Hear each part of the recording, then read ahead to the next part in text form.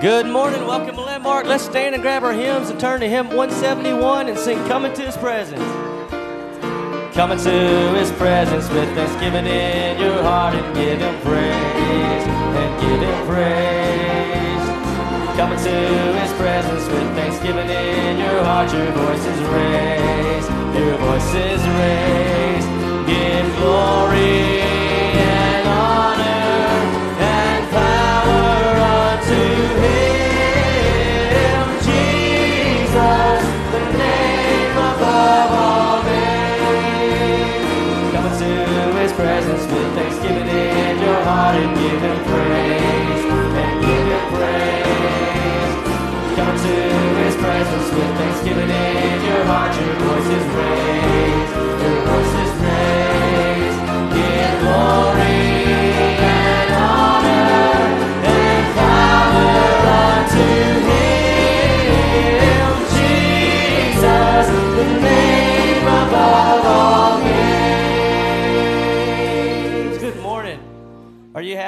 house of the Lord this morning? Amen. We're glad to have each and every one of you. If you're visiting for the first time or if you're uh, a lifelong member, we're glad to have everybody here. We hope you came to lift up the, uh, Jesus' name this morning and to hear the message through song and through the word. This time, I'd like to ask our ushers to come as we prepare to receive an offering.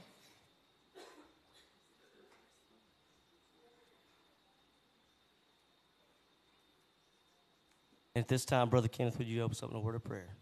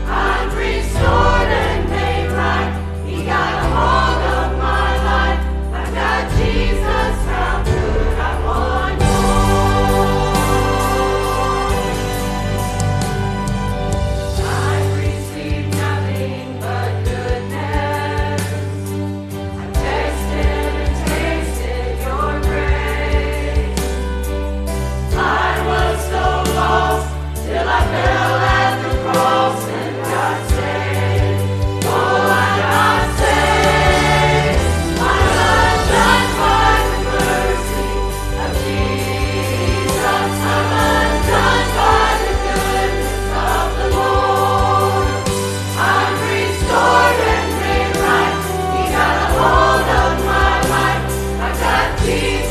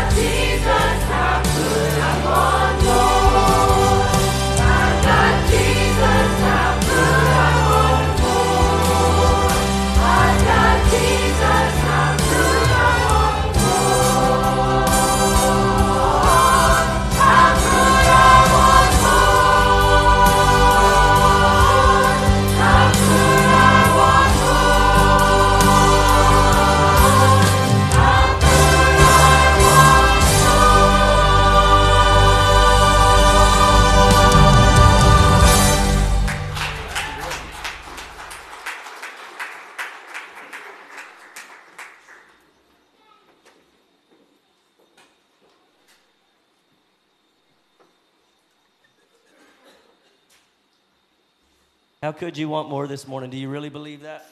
Amen. Gonna, next song we're going to sing is Marvelous Light. It's a marvelous light I'm running out of darkness, out of shame. Through the cross, you are the truth, you are the life, you are the way.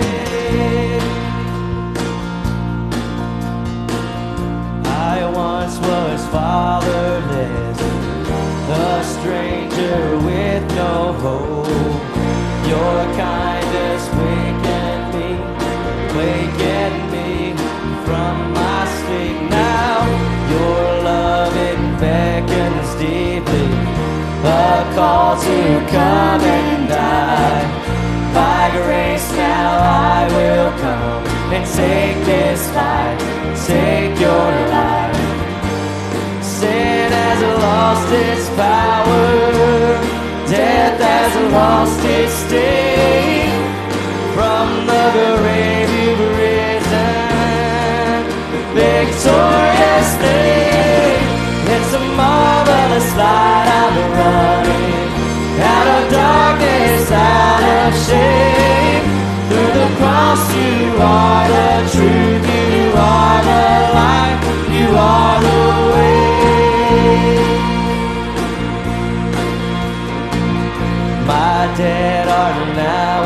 Is my deepest stains now clean. Your breath fills up my lungs. Now I'm free. Now I'm free. My dead heart now is beating. My deepest stains now clean. Your breath fills up my lungs. Now I'm free. Now I'm free.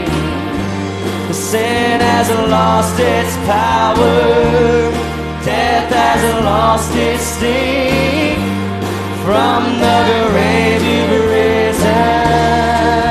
Victorious day. It's a marvelous light I'm running. Out of darkness, out of shame. Through the cross you are the truth. You are the light. You are the marvelous light I'm running out of darkness, out of shame. Through the cross, you are the truth, you are the light, you are the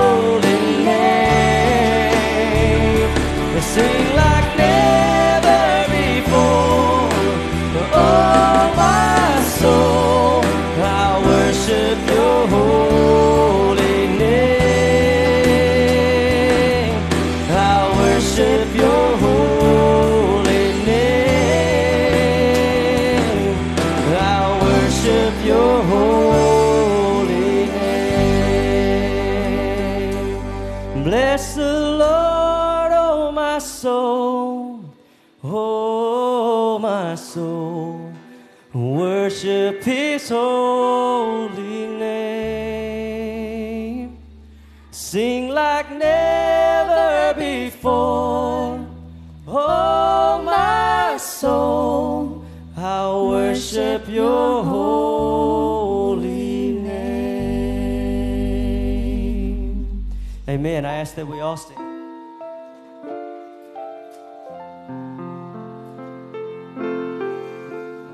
Psalms 126 3 says, The Lord has done great things for us, and we are filled with His joy. This is a season of giving thanks. Let's turn our hymns to 170 and sing this hymn. Give thanks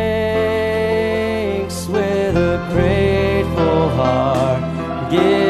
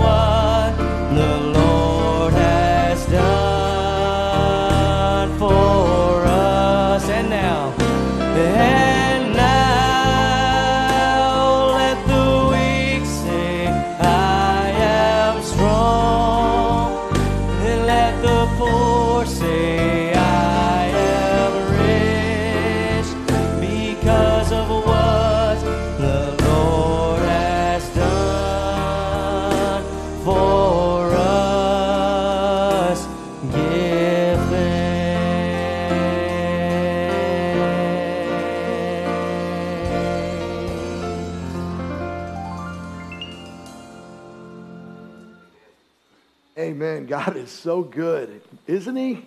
I mean, when you think about everything the Lord has done for us, and how can we even balk at the idea of just a couple minutes of saying, Thank you, Lord? And so I'm excited for this uh, season that we're in in November. Our thankful series begins today, and um, uh, just uh, been, I've been really been looking for this for a couple weeks. You just get excited about giving God back so much that He deserves. And I'm thankful for each of you lending your voices in song and praising our Lord and Savior. Psalms 107, uh, 107th uh, Psalm, verses 1 through 3 read as such Oh, give thanks unto the Lord. Why? For He is good, uh, for His mercy endureth forever. Let the redeemed of the Lord say so, whom He hath redeemed from the hand of the enemy and gathered them out of the lands from the east and from the west and from the north and from the south. Let's give thanks. Father God, thank you. Thank you that we are blessed to be able to assemble here today in your house to lift you up, to just say we love you in song and in our, our gifts and our offerings. And Father, uh, thank you for even the time before in the Bible study hour and opening your word, how thankful we are for your truth. Father, uh, we could be here the next 24 hours and never stop, and we won't be able to list everything. And that's how good you are. Thank you for the bounty of blessings. And may we be a blessing to you today, and not just today, but because of today, every day, to bring a smile to your face, to, to warm your heart as you do ours. And Father, I pray that those who may be struggling in their faith, even under this time of prayer, oh, Father, turn them to you. Help them to know the joy of salvation, the peace that only can come when a person surrenders whatever struggle, whatever burden, whatever chaos is in life. And may we lay it all at the feet of Jesus Christ today. Thank you, Father, for taking our burdens, for our sin and our shame. And we love you for all you're going to do. For we pray this in Jesus' name. Amen. Today, I want to talk to you about being thankful for freedom. Now, a lot of times when we invoke the word freedom in our country, we kind of go towards July for obvious reasons. It's typically a mindset of a 4th of July, Independence Day. But if you're a child of God, every day is freedom. Every day is peace. Every day is the bountiful harvest that Christ did on the cross for you and I. So we launch into this and, and understand the four messages that'll be preached this month will never be able to fully give the scope of the thankfulness. As a matter of fact, we're going to give you seasons of that. We did that a little bit Wednesday night. Uh, I'm going to ask for maybe a couple before Dr. Rudy speaks for us tonight um, to give some praise. Uh, and we'll continue this season throughout the month. I hope we're always people of praise to God whether it's in uh, testimony or maybe just our songs of our heart and word and such. But today, thankful for freedom. Isn't freedom a beautiful thing, by the way? I, I, I, and, and there's things that grace opens the door, and unshackles us. You even see some pictorial imagery in our text. You didn't see it in verses one through three because that's merely introductory. I'm going to try to do something without preaching too much, and I'm going to try to let the word preach. Now, as a pastor and you preachers that are here, you already know the challenge that we're faced with, okay? You're going to try to not preach much, but you're going to let the word do all the preaching. I really am this morning because I want to cover a lot of scripture, but I know time won't let me. So I, I feel the necessity to try to do my level best in this. So bear with me, okay? Some quick points. First of all, verses one through three, let's see the redeemed and knowing their freedom. The redeemed know freedom. The word redeemed or redemption is a wonderful word. But I want to make sure before we jump into that, can you know this? And if you don't, I hope you do. The Lord then, in psalmist writing, the Lord in his earthly ministry and the Lord today is in the redeeming business. That has never changed. I am so thankful for that. God knows no boundaries nor any limitations. Verse 3 shows us the magnitude of the geography and the distances and the GPS challenges that many of us might face, no matter what Google Maps is trying to say, or MapQuest, or whatever your choice is. But government, whatever the boundaries of law, God knows none of those when it comes to the work of redemption in a man's heart. We, like the Jews, have every reason. We are invited. He says, Let the redeemed of the Lord say so. Let the redeemed of the Lord speak up. Let the redeemed of the Lord say, aha, that sounds good. Let the redeemed of the Lord grunt. But don't let the redeemed of the Lord snore during church, okay? Let's make sure we got some boundaries on this thing, all right? No, this is, a, this is shouting ground. When you consider the glory of God and the goodness, I mean, let's be honest. We're not all that and then some that we might think we are. There's not a person within us that was in this house today, nor anybody watching in and you could go across America. Are there some wonderful people out there? Of course. But are any of us really worthy of the grace of God? Are we truly that good that we deserve God's redemption? Maybe sometimes we act as if we are, but really and truthfully, no. We fall well short of the mark. But God and His redeeming love, thank God that we can know freedom as redeemed children of God. But I want you to see some of the pictures. It's almost like we're going down a hall of artwork, okay? And this is where you wouldn't find me. My wife and I have done this once or twice. She does way better with the arts of the world. I'm not as good. I have a short attention span, and I'm looking for the ball game somewhere. But um, thank God for the B Dubs and all those places out there where I can just kind of. And I'm not against the arts. Some of you are like, well, I just turned him off. Okay, I'm not against it. It's just not my thing all the time. But because I love my wife, we'll go to these things and we'll check. And there's a lot of beauty in the crafts and things that people do, especially in these halls and these museums. I love history, and that part of it's not an issue. But you just see, I'm like, what is this? I don't know what the meaning is. And there's an artist somewhere and he's trying to give you a picture and he it's like some scenic thing, you know, and he can tell you what it means, and I have no clue. I just think my kid got on there or something, you know, but anyway. But what I see when we walk down this corridor and we see these snapshots of individuals, and I'm pretty certain that you're going to find yourself in at least one of these today. Every one of us can find ourselves on this, in this hall and in this frame of one of these images, maybe all of them, depending on where you are today. So I want to make sure we don't get too complacent and think, I'm saved, I'm good, it's me. No, God continues to show his redemption. God continues to show the freedom we have in Christ and the love that he brings to us day in and day out. So stay with me on this and let me let the Bible preach, and I'll try to be quiet. I want you to see, secondly, the rescued cry out for freedom. The rescued. Verse 4 says, They gathered, they wandered in the wilderness, and we're seeing images of Israel up to this point. By the way, history says this was probably written post Babylon and some of those captive times. We don't really know for certain. It makes me sound like I really know what I'm talking about, but that's not the point of the message, okay? And I have no problem understanding the, the, the times that Israel was going through in Babylonian captivity. You could see why this would be a struggle if any of us ever went into some kind of bondage of such sort where we lost our freedoms and we were struggling. There's, there's a scope now that we go through the portals of history with Israel. And verse 4 shows us this. They wandered in the wilderness in a solitary way. They found no city to dwell in. Hungry, thirsty, their soul fainted in them. Then they cried unto the Lord in their trouble, and he delivered them out of their distresses and he led them forth by the right way. They were going the wrong way, apparently, that they might go to a city of habitation. Oh, that men would praise the Lord for his goodness and for his wonderful works to the children of men. For he satisfies the longing soul and filleth the hungry soul with goodness. Can you see here the rescue from wanderings? Well, you and I may not be those people in that uh, displaced time. But aren't we all a little bit wanderers? Don't we drift? Don't we sometimes think we know which way we're going, but in truth, we don't always know for sure?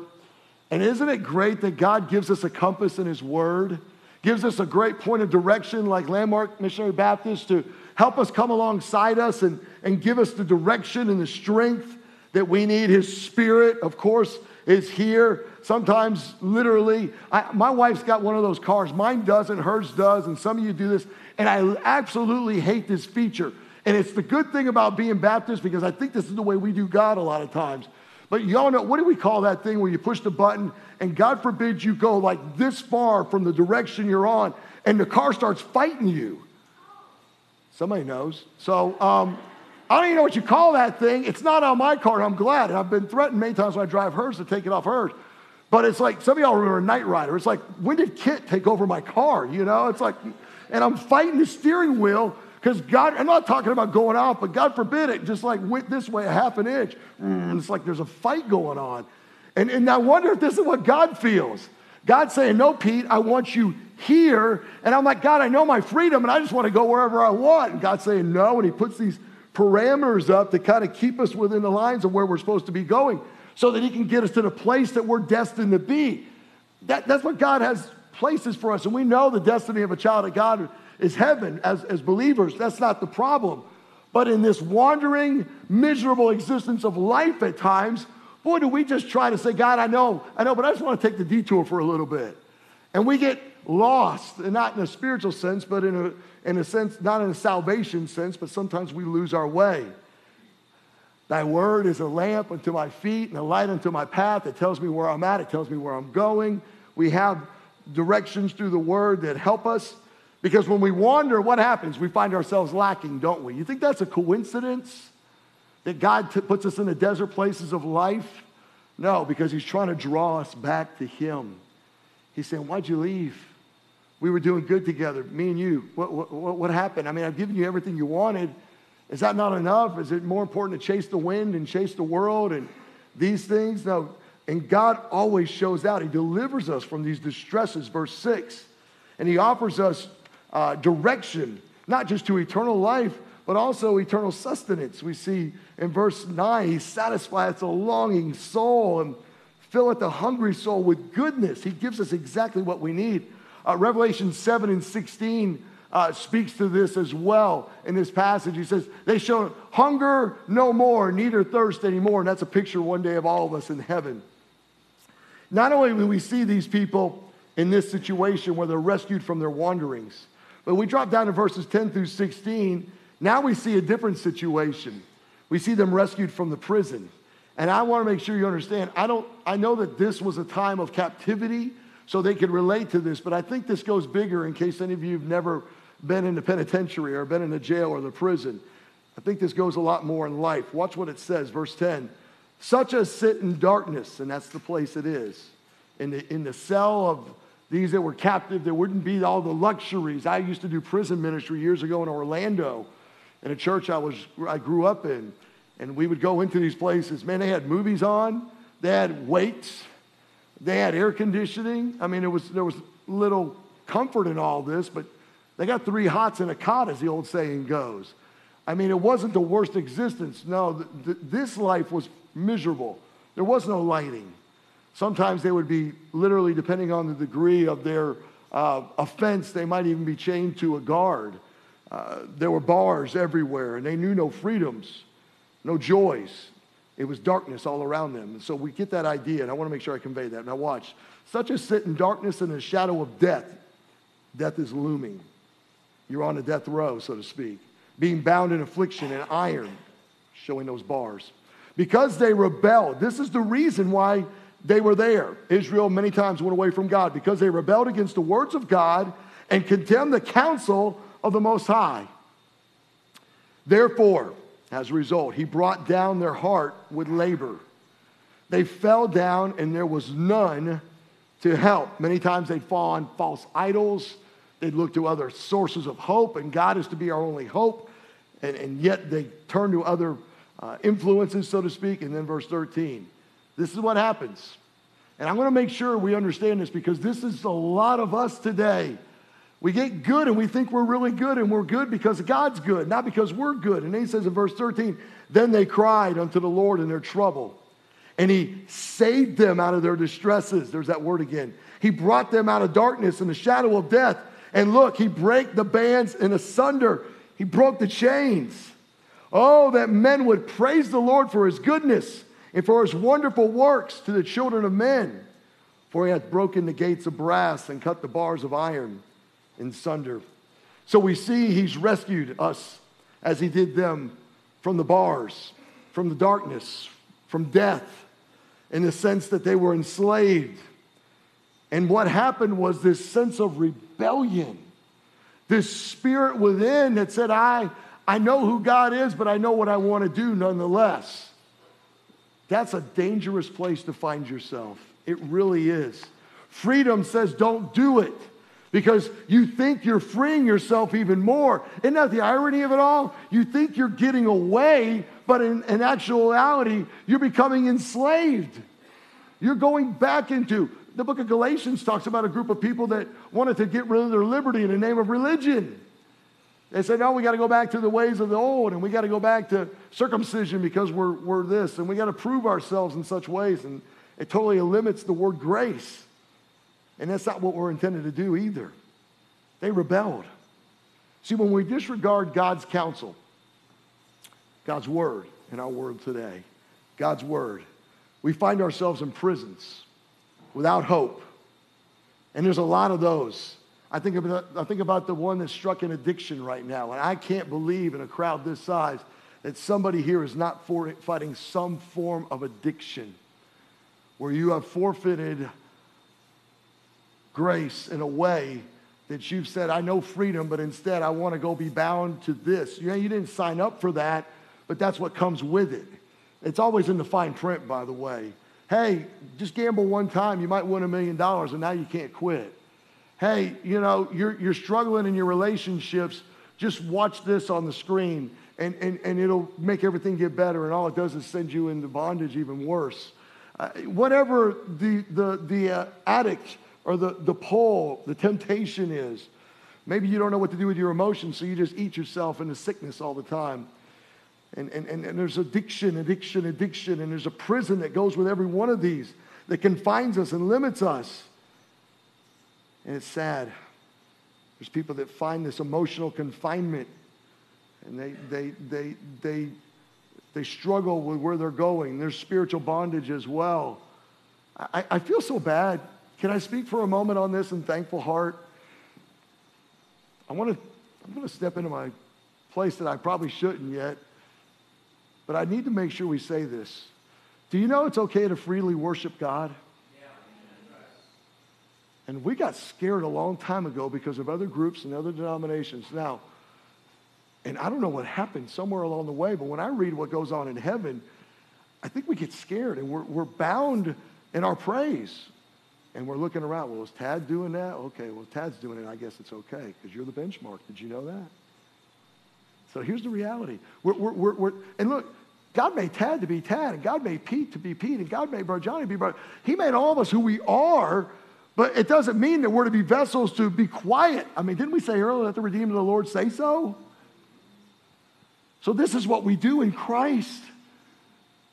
And for some reason, when we get around God's people, we can talk about so many great things, and we should the kids, the grandkids, what we ate the other day, where we're going at Christmas time. Nothing wrong with that.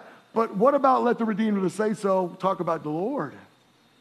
And what about the community around us? Do they know that this is not a social club, even though we got a steeple? Because there is so much goodness of God. Are you seeing the message that we continue to relay in this? And when it comes to praise, man, I'm not telling y'all to run around the building. I know that there's a, a, a group of people here that are maybe a little more quieter in your praise. You're happy just to kind of do like this. You want a golf clap. Some of y'all just want to stand up and go like this. I wish both y'all would do it. I don't care. Because the bottom line is we're supposed to do what God wants us to do and not be under the parameters of, well, you know, I don't want to make so and so mad. Maybe you need help get so and so right with God. I don't know. I'm, I do not take advice from people less spiritual. And I'm not more spiritual than anybody. I'm not saying that, but oftentimes we find people that don't want to praise God. Why am I going to consider how they praise God? That doesn't make sense. Hey, they don't get under a hood. I'll ask them how to work the engine. That doesn't make sense. So what I'm telling you is this. Let the redeemed of the Lord say so. You have freedom in Christ. And yes, there's a lot of cells. And sometimes we see some of the bars in our own churches. And we're confined and we're shackled in our praise in such a way. Hey, anybody want to give a testimony? What?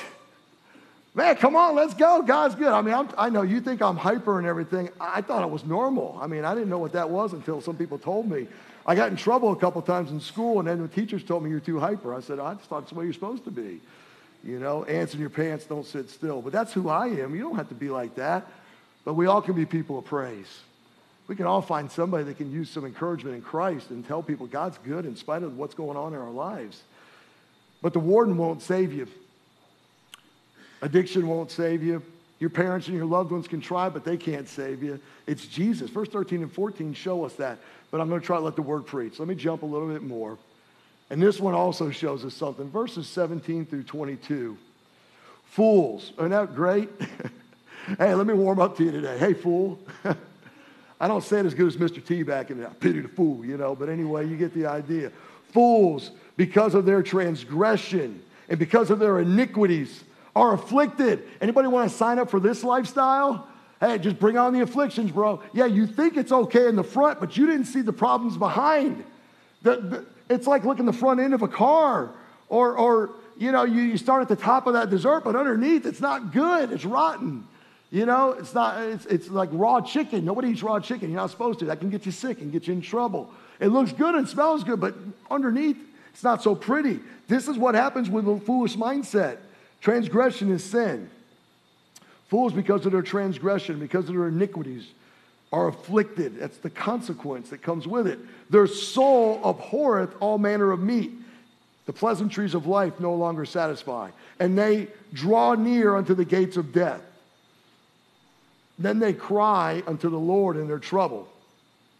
Have you noticed so far? God doesn't like grumble at them or anything. They have to get to rock bottom and then they realize who God is. And, they, and he, the minute they cry out, there he is. I mean, that's glory bound right there. I mean, that's good stuff. That God loves me that much in spite of me. He saveth them out of their distresses. See that word again. He sent his word, his word, and healed them and delivered them from their destructions. Oh, that men would praise the Lord for his goodness and for his wonderful works to the children of men. And let them sacrifice the sacrifice of thanksgiving and declare his works with rejoicing. I want you to see, thirdly, these are rescued from sin sickness. Sin sickness. The Bible calls those in this place fools. They're fooled into thinking that their life is okay, that they will be okay, that sin is really not that bad. And it always hurts us more than we realize. It leaves us literally, according to the words here, sick, and it leaves us dying. And you don't see it. No more than most people can see it until it's way late in the game when it comes to matters of physical health. Proverbs 10 and 27 gives warning to this and reminds us about the dangers here. The fear of the Lord is what prolongs our days. You have awesome respect for holy God, you're in good shape. But watch this. But the years of the wicked, what? Shall be shortened. Decay, dying are the consequences from a life of sin. Look at what sin does to the body. Talk to the person that has been too long to the nicotine, to the person that's been too long to the alcohol. Talk to the person that's never taken care of the temple. And these are small sample bits of a larger product of what happens when we don't take care of ourselves. I'm reminded of this all the time because I have a condition, like many of you have certain conditions in your life that constantly hold me in check. Pete, you got to watch yourself because your body will start talking back to you. And that happens with age. You young guys continue to enjoy what you got, but it catches up to you later on. When we're sick, what do we do? Do we just say, I'll be all right? Probably. But eventually, if you get sick enough, you got to go to a doctor. You got to see a medical professional that can give you good counsel. Well, when we are sin sick, what do we do? I'll be all right. now, we go see Dr. Jesus. We go check in with Dr. Jesus. We, we see in verse 19 that they cry unto the Lord and He gives them immediate healing. He gives them immediate relief. He, he doesn't send them to the pharmacy, He is the pharmacy. He doesn't offer them a drug, He is the drug of hope, okay?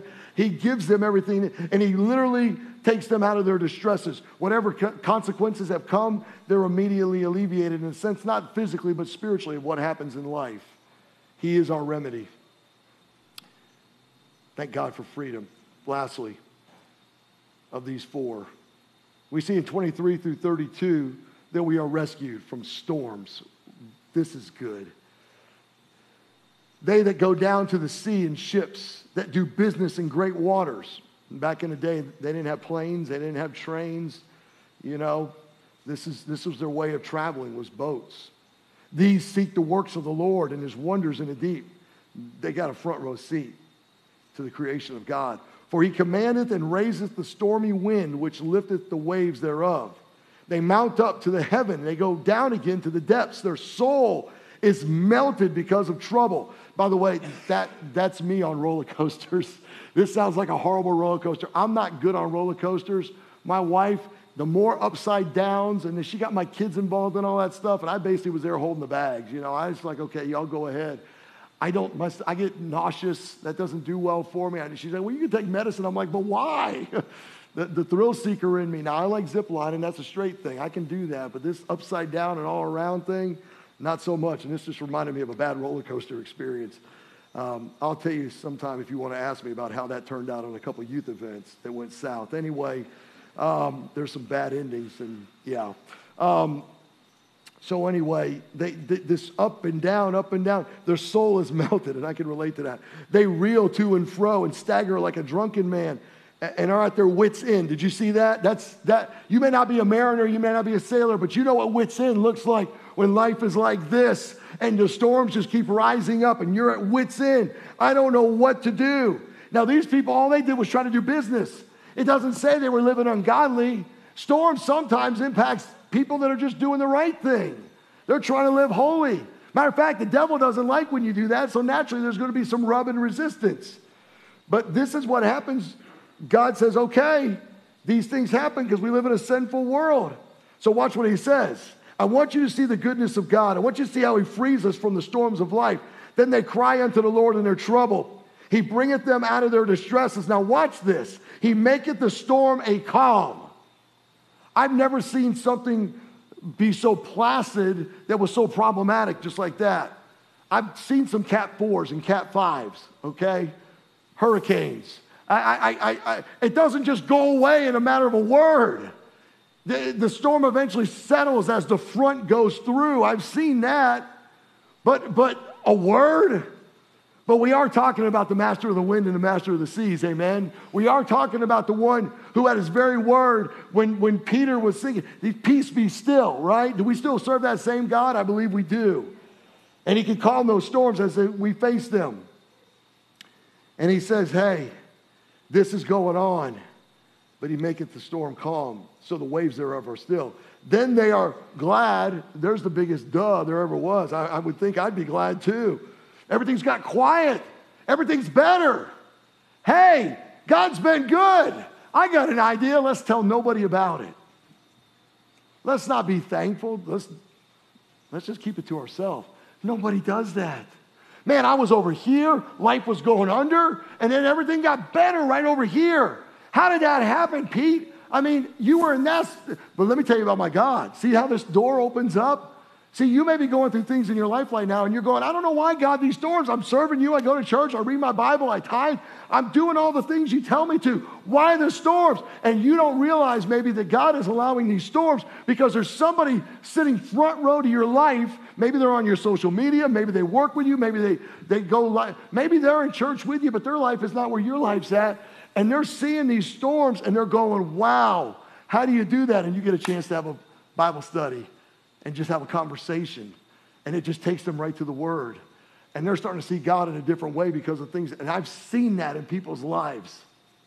I've watched people go through horrible times and how they can pick their head up a pillow and say, God's still good. God's still good. I've lost this, I've lost this. But glory to God, there may be somebody comes through that hospital door that needs Jesus. And I'll tell them about my God no matter what a condition I'm in. And I think about these people and I go, how do they do it? How do they do it? I know what I feel like on an airplane. I get up, I got to fly this weekend, and I, and I get on an airplane, right? And, and, and, and, and some of the worst words I've ever heard in life is when the captain gets on the plane. We're now hovering at 36,000 feet. And I'm like, by the way, it does absolutely no good for me to just grab those armrests, right? The poor guy next to me or the gal next to me, that's mine. I got to hang on a security blanket, you know? I think I told y'all before that when I flew back from Spokane, I had the lady with the anxiety dog. And that dog was making me anxious because it kept kind of bouncing all over the place. But anyway, and I'm just like, you know, I can relate to the sailors, especially because they're like, no, no, it's a, we're about to go into a little bit of turbulence. So if you would just fasten your seatbelt. Oh, great. Okay, me and God prayer time. I know what this is. Okay, God, we, you know the drill. And we just pray. And you start feeling this a little bit. I mean, it's just, I hate that feeling. I told you how I am with the roller coasters. They're on rails. These things, not so much, but God's God. But life is always turbulent. It really is. I don't have to be on an airplane to know that.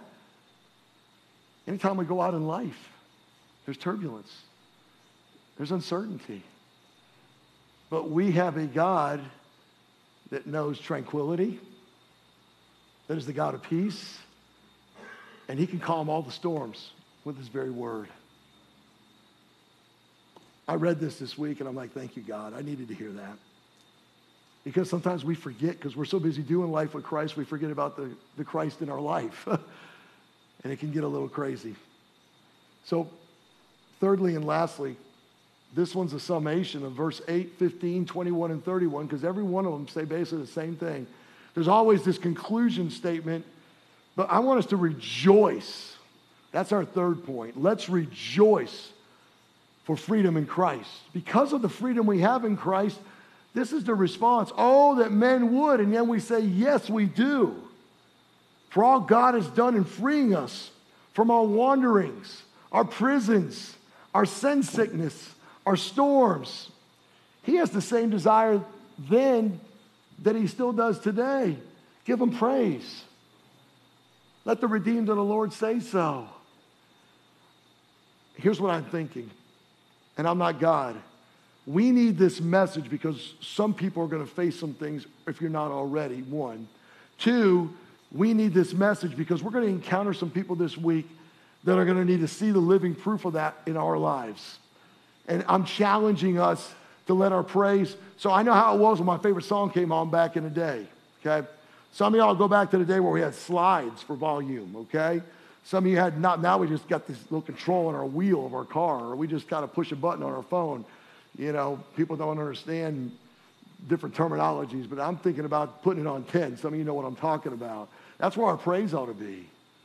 Crank it up. However that looks in your life, crank it up. Because I dare say we're probably not praising God as much as we should. How about we put it in those terms? Are we telling God more and more how much we're truly grateful? Hey, you could be in Israel or in Gaza right now. Praise the Lord. Hey, you know the fact that you have running water? You know there's people in the world right now that have absolutely none? They're this close to dying. And the water they're trying to not drink is because they like to is polluted and it'll make them sick and die. We, we don't, we take for granted the little things. And let's not forget, we're children of God. If you're a child of God and you know the, the blood redemption of Christ, man, are we the best of the best in Him.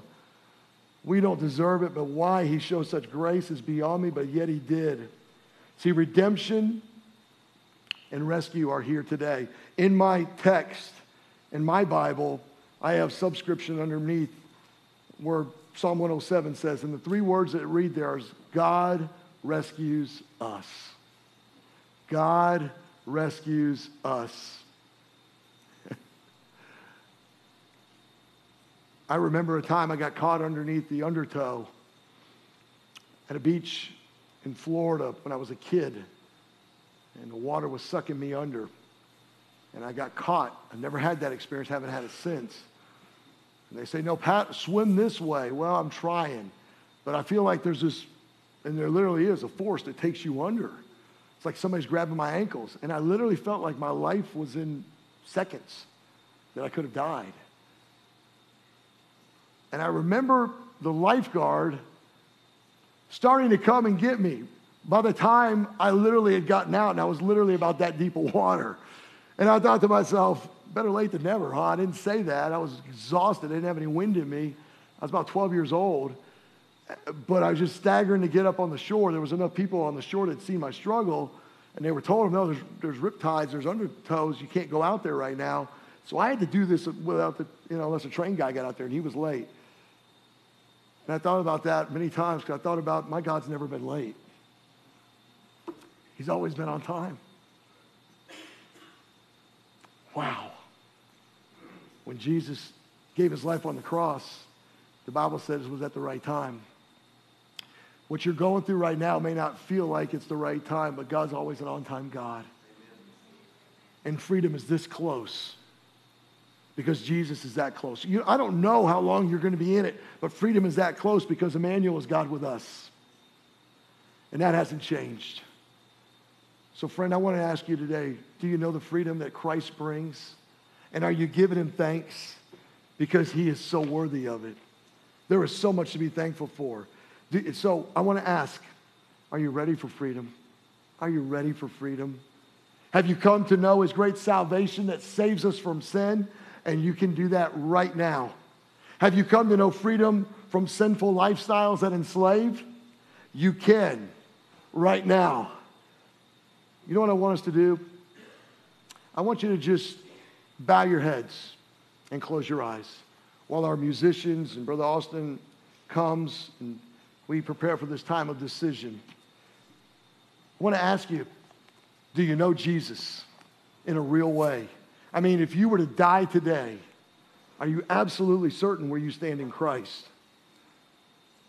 Here's what I want us to do I want to give God praise. So, what I want you to do is simply do this. If you're a child of God and you know that you've trusted in Christ as your personal Lord and Savior, would you raise your hand right now? God, I'm saved. I'm a child of God. Praise God for all the hands going up. You can put your hands down, but maybe today somebody struggled with that, or maybe you did it because you didn't want to stand out. I'm not going to ask you that didn't uh, to raise your hand. I'm just going to ask you if you don't know Christ right now, I want you to call upon him as Savior. I'm not going to ask you to repeat after me because I want them to be your words. But I just want you to say, God, hey, I, mean, in your own words, I need Jesus as my Savior. And I thought I was free, but I don't think I'm free. I can't go back to a time where I called upon Christ as my Savior. Save me, forgive me, heal me, help me. You know, the meditation of the heart is what God looks for. It's not the eloquency of the words. I'm praying that you prayed that prayer. Maybe today you trusted Christ as your Savior already, but you've enslaved yourself. You've gone back into bondage to some way or shape or form, like the pictures we looked at. But you can be free and you can rejoice in the freedom of Christ. And all you got to do is just say, God, it's me again, and I'm sorry. I don't know why I went this way, but I'm thanking you because I know I have hope in you and I want to be free. And maybe that just comes by saying, God, I want to recommit my life to you. We're going to open up this time of decision, and you can come forward and lay it at the altar. Brother David and myself are available. And we'd love to talk to you more if you've made a commitment to Christ today. Let's stand. Brother Austin, what song? Lord, I'm coming home.